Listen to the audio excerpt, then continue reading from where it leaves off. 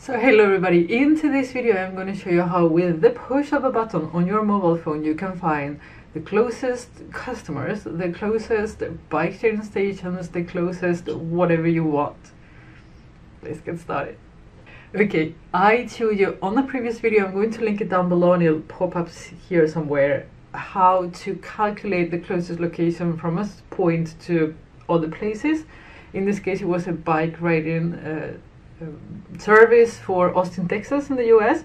And as you can see on the map, there is a green dot, that's my location, and then the three, the blue ones are the ones where, you know, the closest bike sharing stations. So on that video, I actually hard coded my location. I told you that it was possible to get it dynamically. So that's what we're going to do today. And we're going to use Power Automate. So let me show you how it is done. It's actually very, very simple. Once you figure it out, as always. So first thing, you need to figure out where you're going to store the location. And it needs to be stored obviously on the cloud somewhere. I've put it in SharePoint. You can put it in Excel. You can put it in Google Sheets. You can put it in anywhere you like, but you need to put it somewhere so Power BI can then read from it. So I created just a simple list on SharePoint that is, has latitude, longitude, and location, and that's all. Now, then I went to Power Automate. Here's the thing. I did this from Power Automate on the web, and it did not work for me. I have no idea. I was thinking that probably had to do with, you know, permissions on the phone. I changed the permissions still didn't work. So the only way I could make this work for me, it was actually to create the flow on the phone. And it's so easy, so why not? So let's jump on my phone and let me show you how I did it.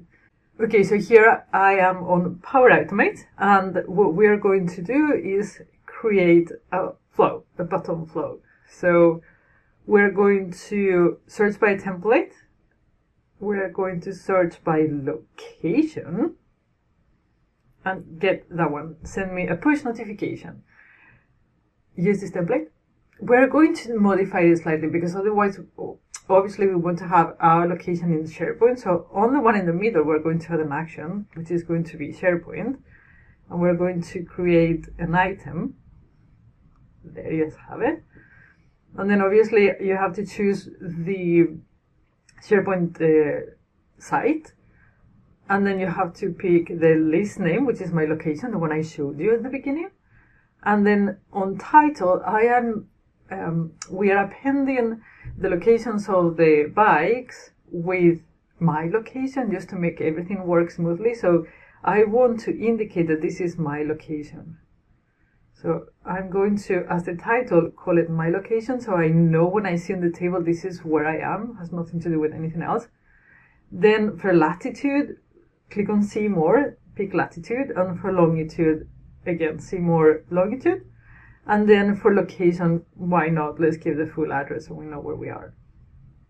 And that's what you need to do. Once you're done, you click create. And uh, the done button is like super weird. you have to click it like, yeah. And we get the button. Houston, we have a button. How long it took? Like two minutes? Okay, now look at that. I am pressing the button. I'm getting the notification and let me refresh here so you get, you see the address here. We got the address, beautiful. Going to Power BI, going to refresh here. I actually modified the coordinates. Obviously, I'm not in Austin, Texas. I modified the coordinates so it gets around there somewhere. So it should pop up somewhere in here. And there you have it. You saw probably that it moved a little bit. Obviously, I haven't changed my locations when I tested it, so it's almost there.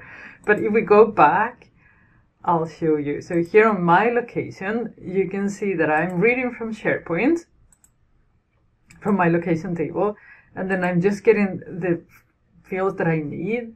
And here I am subtracting the latitude and longitude to actually you know, position myself in Austin, Texas. But otherwise, you will just push the button. It will tell you where you are and then tell you where the closest customers or the closest bikes or the closest cars or the closest you want is.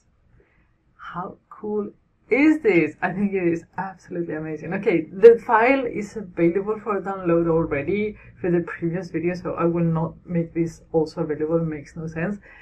Give it a go. Let me know if it works, and I will see you again next week. So take care, bye bye.